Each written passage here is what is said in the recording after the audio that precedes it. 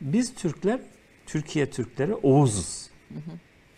Türklerin Oğuz boyuna mensubuz. Tarih sahnesine 6. yüzyılda çıktık. Yani 6. yüzyılda Oğuz adıyla görünmeye başladık. 13. yüzyıldan itibaren de daha doğrusu 11. yüzyıldan itibaren Türkmen diye gözüküyoruz. Sonra Oğuz adı unutuluyor. Türkmen adı kalıyor ama Türk adı da bizimle beraber yaşamaya devam ediyor. Sonra Türkmen sadece göçebeliği tanımlayan bir isme dönüşüyor. Türk adı ise bizim siyasi kimliğimiz haline geliyor. Bir Şimdi- milli kimlik de belki. Tabii ki. Yani biz üst ismimizi Türkçe konuşan tüm halklara verilen üst ismi biz milli isim haline getiriyoruz. Oğuz ve Türkmen ismini ise bunun altında ikincil isim halinde yaşatmaya yalnız devam ediyoruz. Bunun yanında yani Türk, Türkmen bir de Yörük ismi var. Yörük de Anadolu'da icat ettiğimiz bir isim.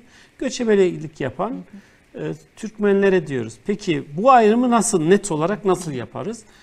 E, Türkler yerleşik hayata geçtiğinde yani Oğuzlar yerleşik hayata geçtiğinde Türk ismiyle anılıyor.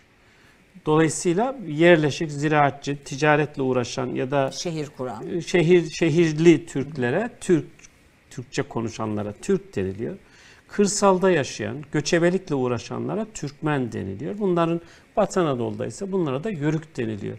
Bu o kadar kendi içinde e, netleşmiştir ki mesela Batı Anadolu'ya gidersiniz bugün bile bu Türk köyüdür, bu Türkmen köyüdür, bu Yörük köyüdür diye hemen ayırt, ayırt ederler. Orada siz e, Türk köyü diye tanımlanan hemen dersiniz. Bu 1400'lerde falan yerleşik hayata geçmiş.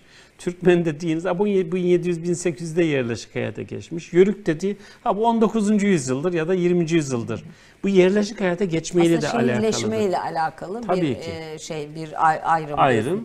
Onun dışında biz Oğuz'uz yani. Oğuz. Oğuz